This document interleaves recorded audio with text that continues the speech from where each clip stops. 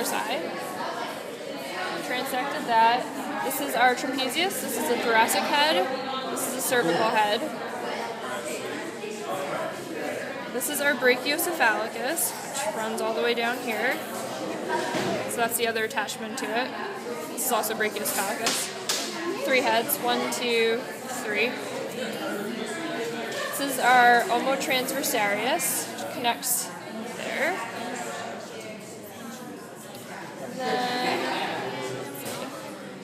So then we took the leg off. this is our superficial pectoral. It's our deep pectoral. This is the serratus ventralis. This is our rhomboideus. And this is where it connects to the scapula. So you can see the other part right here. That's where the rhomboideus connected. This is subscapularis.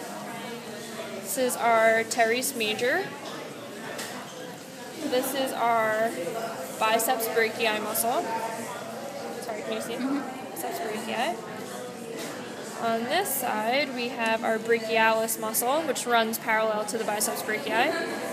This is just a brachiocephalicus uh, attachment. This is our lateral head of the triceps, which you then transect and you can see the accessory head of the triceps. This is the long head of the triceps.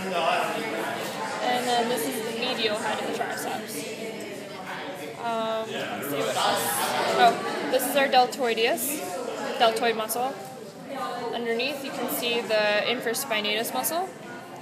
And on this side is the supraspinatus muscle. Who's the medical illustrator? I think that's all that we got. Yeah.